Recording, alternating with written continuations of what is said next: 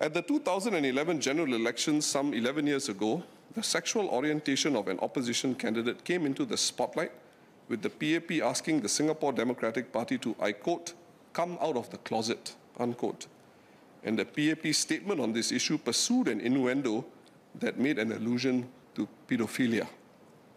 In view of the speeches made by PAP MPs over the last two days and the call for any change on the definition of marriage to be a political question, can I confirm the PAP's position with regard to LGBTQ plus candidates standing in general elections?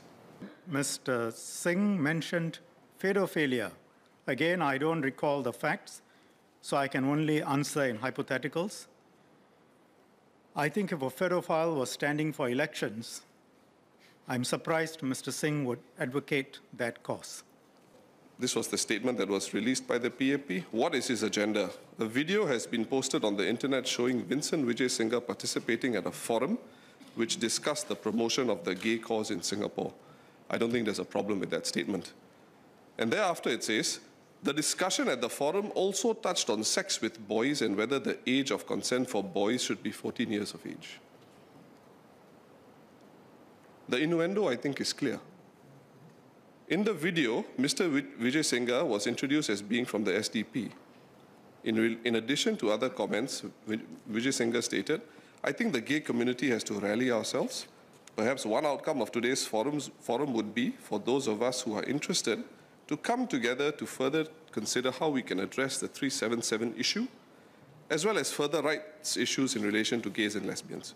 Now, I don't have any issue with the, the PAP coming up and saying, look, what is the political agenda of a candidate?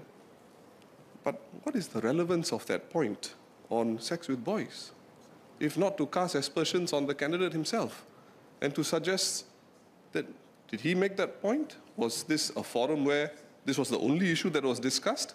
So that was intentionally included. That's my view of the statement. Mr. Singh started out the second question by saying that pedophilia was talked about. Now, let me make it clear to him. If there is a candidate who is standing for elections, whether for the PAP, and I hope the PAP will never field such a candidate, or for the Workers' Party or SDP, and if there is a suggestion of pedophilia, I will certainly speak about it.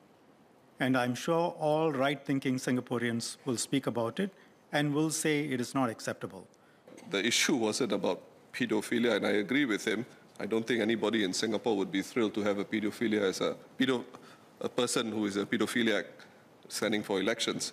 But the question I asked was, what is the PAP's position with regard to LGBTQ plus candidates standing in general elections? I don't think a question has been answered.